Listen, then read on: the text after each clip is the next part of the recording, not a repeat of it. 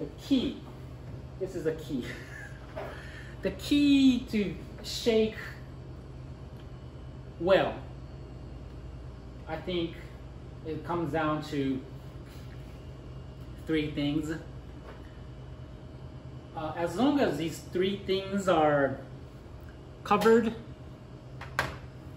I don't think there should be a distinct style to shake. Like I'm Japanese and there's definitely like a, okay, this is how to shake. You stand like 45 degrees and then your chest height and then you do a figure eight and like your face is 45 degrees, smile a little bit and then you do it for uh, well, 20 times at a strength, whatever, a speed of 15 kilometers per minute, I don't know, whatever, stuff like that.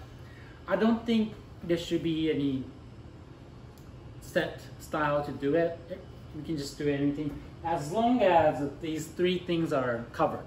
Uh, I said durable, but uh, really, whatever won't hurt you. Because typically, if you're working at a bar, you you're, you're shaking all the time. So you're using certain amount, certain part of the muscle. So you really need to figure out a way that's not gonna hurt you. That you can keep doing it. You can come, you can do it every day for hours. and so that's why it kind of relates to the Japanese, but you use a snap.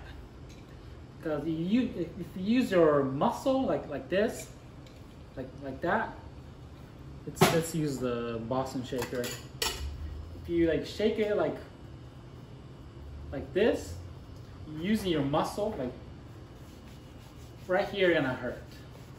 For sure. Or like your shoulder gonna hurt. If you just like no motion. If you use your grip, so like the cocktail, ice and drinks, it, it goes like this, right? back and forth. So you you use your for uh, just muscle, it'll go back like bum bum bum, the go right. If you use a wrist like that, like kind of big like not really like like this in a sense. Just by the, the wrist, it'll you can have the about the same amount of uh, force without moving your muscle, arm and muscle. So like that. So that's why like cobbler shaker is ideal. Like you can get the same force by, by the snap, snap. Like that. Kind of big, kind of, I'm kind of over, overreacting, but so durable. Like some people is that, some people uh, will figure it out even I'm not really good at shaking with one hand because I don't like to I, I, like to properly like handle it but some people will come up with like motions that uh, won't hurt them basically that's that's very important second safety another very important thing like you shake a cocktail like this say because oftentimes your hands are wet you're wet what if I right? If I if I shake like this towards you, isn't it kind of scary? Like ooh, ooh right? Sideways. At least you're gonna just hit your your coworker, your your barback, your your fellow bartender will will get hurt. You know, just buy them drinks, fine. If it hits a customer, it's a big deal. Don't shake it like this. Shake it sideways. That's that's number one uh, safety, whatever safety stuff. And then lastly, about the looks. I told earlier my, my friend called me, like he's like, he's like, very cool. You watch him work and then like just like uh, that you just like through practicing you establish your style. I definitely have a style that I, I, I shake. I don't know if it, it looks good, but I, I do it that way. I think it looks okay. I think it look, I've seen I've seen videos of me shaking. I think it looks okay. I do it like I do it like this. I like anyways, all those like 3D things, it, I don't think it's making a big difference. You can kind of go more geek out and then, okay, so this is like a like a mono, like mono and then you kind of add in like this, like the ice gonna hit like all multiple different ways, like it'll gonna, it's more uh, complicated and more bubbles and what like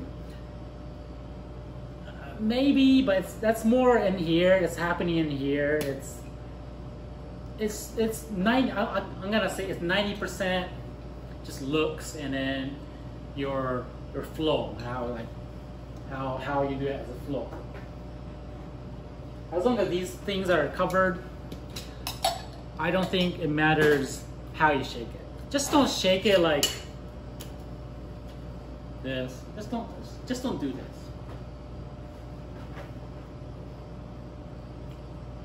just don't do this imagine your customer is sitting like kind of like my angle, maybe lower angle, and then I'm like,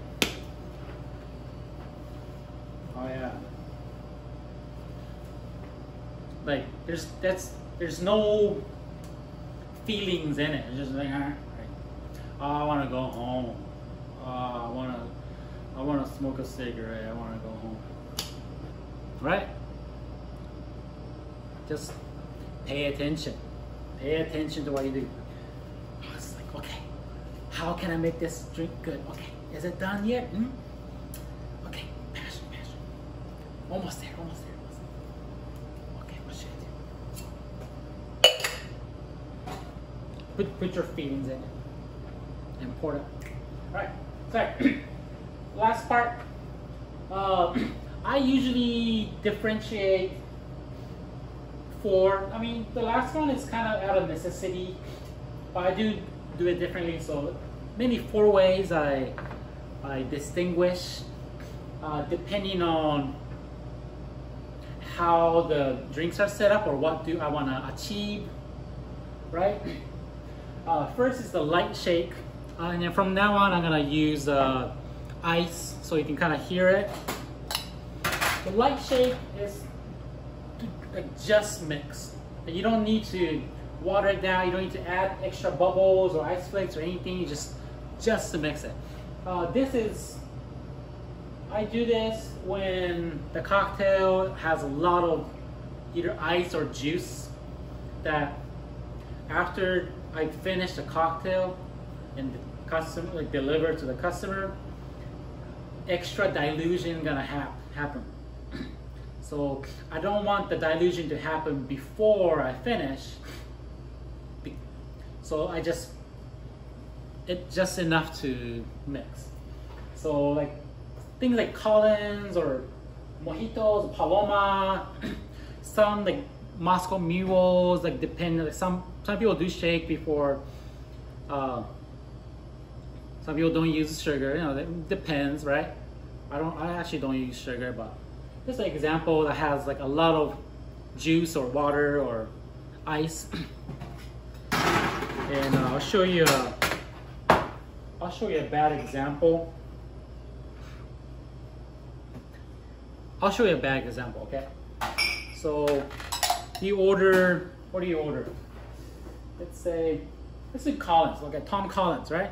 Tom Collins is usually Old Tom Gin, and uh, let me use water, it's water. Old Tom Gin, lemon juice, simple syrup. And then you shake it with ice, you pour it into a, a glass, and then you top it up with soda water and garnish. So say your stuff is done, and you add ice, and then in this case, like there's a there's a pretty big debate on which one you gotta put the ice in. I always put it in the bigger one, 100% of the time. Uh, my reason is uh, two reasons. one is because I built it, I usually build it on the smaller one, right? So I wanna separate the, the cocktail and then the ice, right? Second, uh, I think this is not enough ice because you, you fill it it only goes to like here. While, while you can you can fill it up to like here or even like more.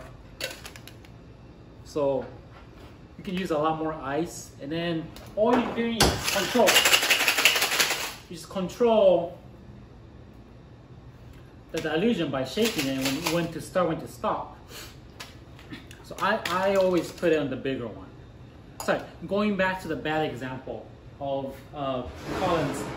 You do it and then you shake it. Shake it, right? Oh, and then you hang out with your friend. Oh, look at the sale. Oh, you check out customer, swipe credit card, whatever. Oh, I forgot about this. Oh, shit. More. Done. And then you pick a glass that's room temperature. This room temperature, right? And then add ice, like so-so level. this I, I didn't really put enough liquid, so I'm gonna not use it. And then room temp ice, no, room temp glassware. you put ice in it, it's already gonna water down. Imagine this with a smaller ice.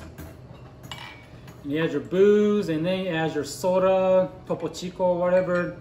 Uh, imagine a Topo Chico is room temperature. Like it's not in the refrigerator. It's like imagine your soda is room temp also.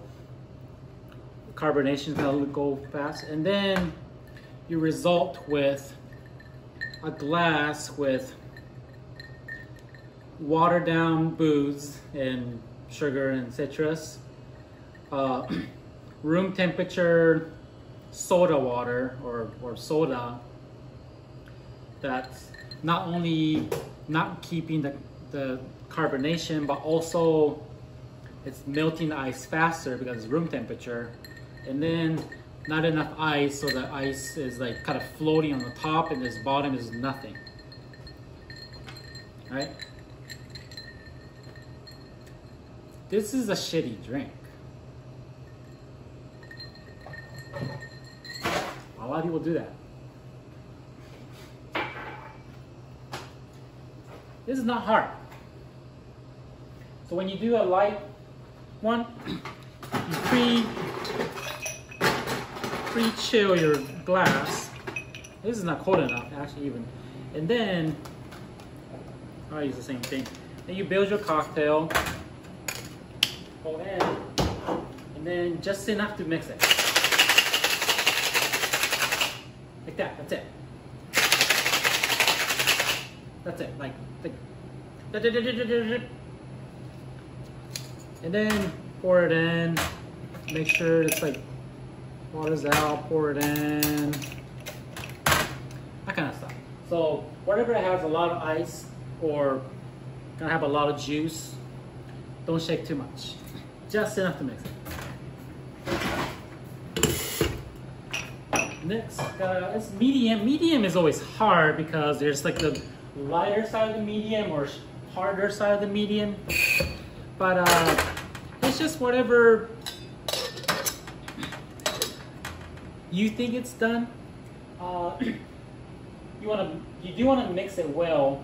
So I wrote down high ABV is high alcohol content, but it comes on the rocks good example will be a margarita or like a medium alcohol level and you serve it up, like no ice. Or uh, I, come up with like a more like delicate cocktail, like you want to make a aviation with like a delicate style gin. If you don't want to overshake and kind of break the balance of it. So for that, uh, it's good to know, it's good to be able to hear the shape, the sound. So as the ice gets broken, the sound changes. Actually, it's easier to tell the sound probably with the Boston shaker. So when you shake it, it start, it's gonna start from very hard, harder noise, like taka taka taka taka taka taka taka taka.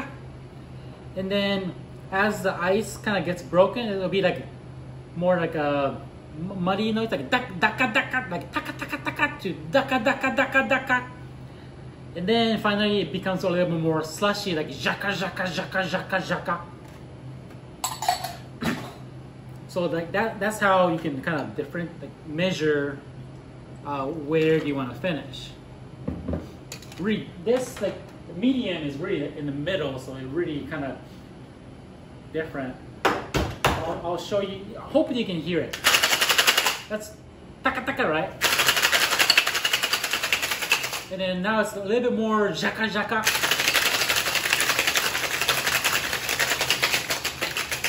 And then now it's more like more more like slushy.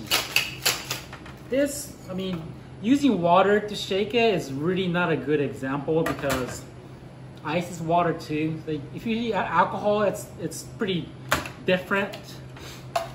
Later, I'll make one cocktail for me to drink. So hopefully you can hear uh, more of the sound change. All right. So that's to kind of distinguish where do you want to finish. All right. The hard shake, I'm gonna explain at the end because uh, I'm gonna make a cocktail using my hard shake method. So let's skip it for now and then uh, do the double shake. Double shake is more of a necessity. Uh, it's when you have an egg white in your drink, like a whiskey sour or Ramos Gin Fizz or whatnot. So egg white is really hard to mix. so you need to do your shaking twice. And typically you do what's called dry shake. You basically you shake it without ice in it. So you have all your ingredients and then you shake it without ice for like a minute or so, like like that. And then now your cocktail is all nice and frothy, but no ice, so it, it didn't water down or get cold. So you put ice in it and then you chill it down and add a little bit of water and then done. Typically. Some people do it backwards. Uh, I won't go into super detail, but like typically you dry shake it first and then wet shake it. Wet, I don't know if it's a term called wet shake, but you shake it with ice afterwards and then you strain it. And uh, usually double strain, because, uh, but I'll, I will not talk about the super details. Uh, the, when I do double shake, I usually do fast and short. I mean, the, the shake is fast and short.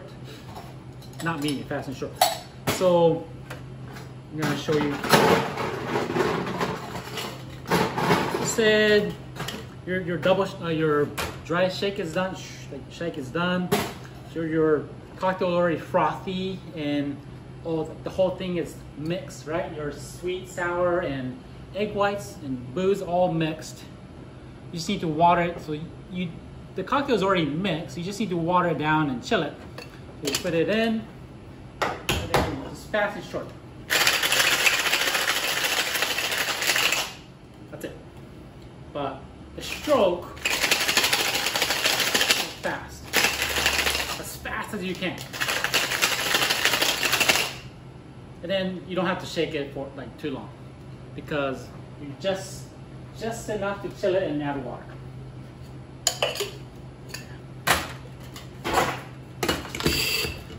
so that's a double shake.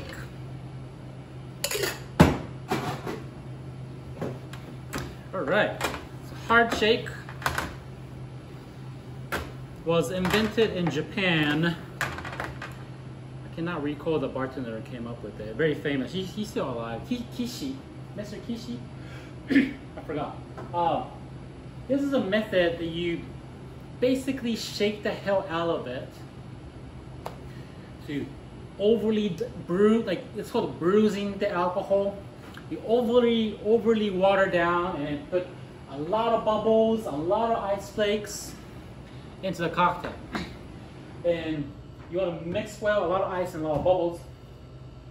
this is this technique or method is specifically great for something with very high alcohol and then just really simple stuff uh, like a gimlet or a daiquiri. A gimlet, I specifically like a really heavy London dry gin. Like my favorite is Sipsmith. Uh, another, probably the main major brand could be like a Bombay Sapphire or a Beefeater, like heavyweight gin, ready to be higher alcohol. This is probably not super high alcohol. 41, yeah, not high alcohol. But uh, uh, daiquiri, of course, like higher alcohol rum. that you really want to put a lot of air in, like you want like ice shards all over, like flaky and like. Uh, usually these drinks will come out kind of light green because of the lime juice, but it makes it almost white on top and it's called a Japanese hard shake. And uh, when I do it, I usually start with the uh, like a waltz, like it's like a rhythm. So like I do one, two, three, one, two, three, one, two, three, right? and uh, I usually do the first one hard, one, two, three, like I kind of really try to put all my force into the first uh, stroke and then three. And then I, I, I, I tried to bruise it in the first one, like bam, to bam, like tried to bruise it. And then I tried to bruise it first and then I tried to add the bubbles by fast and short stroke following the bruising part. So like break the ice first and you move it around to make it bubbly next because when you pour you want the bubbly. And then you like you put the motion and stuff that's really just for show. It's you you pour like or pour like same thing same thing just this looks more active than that's all so I'm gonna make a daiquiri Woohoo! thirst all right So this is a, a recipe from Jettison. It's called R Daiquiri. I'm gonna use two ounces of Panama Pacific. This is of course from Panama. It's a very clean style rum. Like vodka, not vodka like, but it's very dry and clean. Panama. That's two ounce, right? And then I'm adding a half an ounce of the zone. This is agricole from agricole. I forgot to chill my glass. I don't have a pebble ice right now. Right, kind of chills okay. Just me drinking. Usually I always put like a pebble ice, chill it down. Right, half an ounce of the Nizzle, which is agricole rum, funky style, high alcohol. It's 50 proof. Uh, this was 80 proof. Did I say 50 proof? This is 100 proof, so 50% alcohol is 40% alcohol. So higher alcohol. Lots of booze. Mostly clean, most a uh, little bit of funky. In, and then I'll do equal parts of sweet and sour. So I'm doing uh, three quarter ounce of lime juice and I call it the complicated syrup.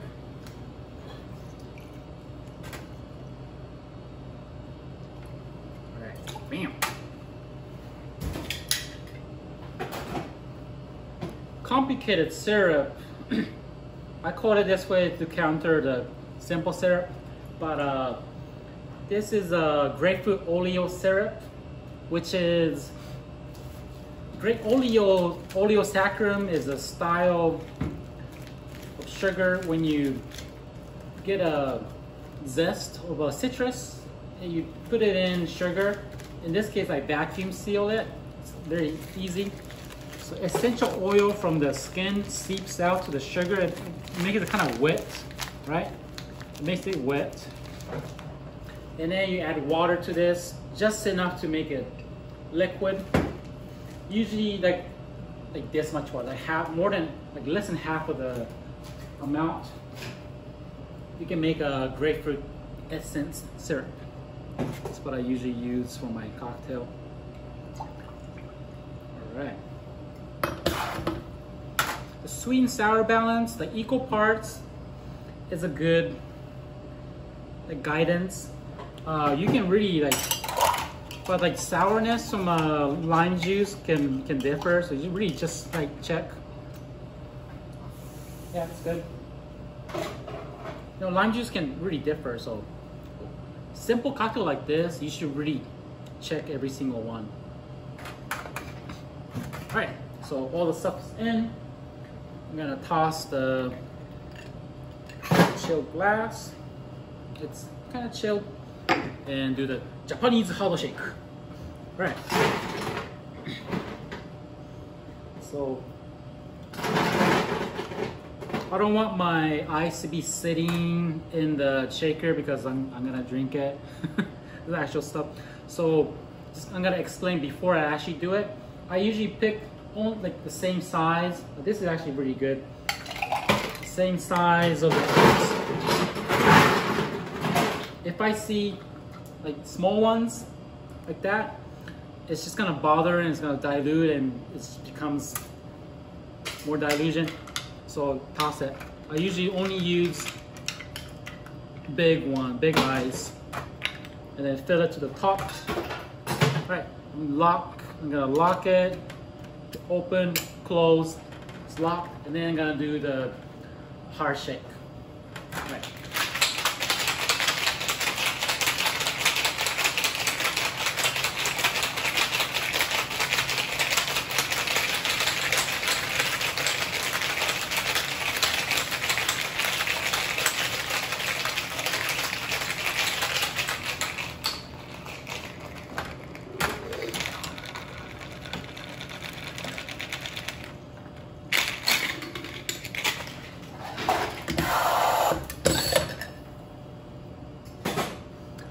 probably cannot see it. It's really bubbly. It's almost like white, right? That's good. this good. Uh, for me, for my daiquiri, I like to do lime zest as the garnish, like just a little bit. That's all. For the aroma. And uh, I do bitters on top. My favorite bitters is the Bob's summer bitters, which I don't have. It's kind of hard to get, so I don't have it at the moment. Uh, so I'm using, I've been using hibiscus bitters as a backup. I'm gonna put it, beep, beep, beep, and one good sign, if you have like really nice ice flakes and uh, bubbles on top, everything's gonna sit on top because it's gonna try to come up. And it's a good sign that you have a properly shaken daiquiri. Right. Cheers. Mm. So you get the small ice shards, ice flakes in it that kind of adds texture, but not to the point where you're like, you're like chewing it. It kind of dances then inside your mouth. Uh, frothy texture. Sweet and sour balance is good. Uh, I do like my, like I want just try to meet right in the middle. I don't want to, a lot of people won't like it on the citrusy tartar side, but uh, if you make it too tartar, you start kind of feeling it, like I, I kind of feel it like here. I don't know, maybe just me, but try to meet the balance and aroma, texture, very cold cocktail. It's good. Cocktail is very cold, so it's it feels like it's not strong alcohol. It's like it feels like you can just chug the whole thing in like three seconds. If you do that, you get you get drunk real fast. So I, I know that. So I try to sip on it, but uh, yeah. I think I did talk a lot, but uh, this is pretty much everything I can show you as far as shakes going on. So I definitely got got my shakes. Uh, you can too. It's not hard. Just imagine how how you want your end result to be, and you you can choose how to get there. It's it's that easy. Yeah, cocktail's easy. Just put things in and shake it. Shake your money maker. Shake your money maker. Shake your money maker.